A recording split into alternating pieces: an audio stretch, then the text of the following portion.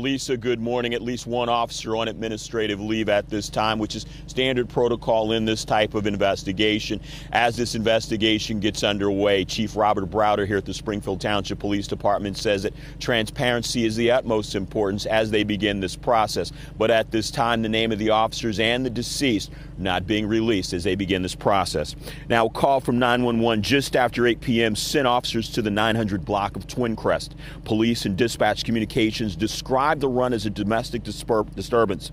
Two women were outside of the residence when police arrived to reports of a man inside the home with a gun. Now, calls to dispatch reported a total of eight to nine shots being fired. Police say that the man brandished a weapon and was shot by responding officers. A handgun was recovered at the scene. Now, the initial 911 call was for a verbal altercation that was rapidly escalating as the man on the line said that he was throwing out a woman's belongings from the residence. Now, this type of call is considered by officers the most dangerous that they face, and Chief Browder expressed the importance of transparency as this process moves forward. Two females were encountered outside of the residence. The officers went inside to talk to the male uh, half of the uh, incident.